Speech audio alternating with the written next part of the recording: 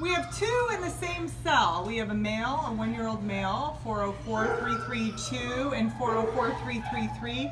Another little boy, very, very sweet and cuddly. These two right now seem like they're tired. Um, I weren't so sure what I was doing here trying to video them, so we're gonna go in here and say hi. Yes, you guys wanna say hi? Oh, you don't need to be afraid. It's okay. Okay, honey. It's okay. Oh my gosh. Oh, are they dolls? Yeah. How did you get here? Oh, bless their hearts. Well, they don't have collars, no tags. Oh, people need to um, microchip and keep your dogs um, with tags because when they get caught, they end up here, and then nobody nobody looks looks for them, and nobody knows how to get them back to you. Look at this. Oh, yes.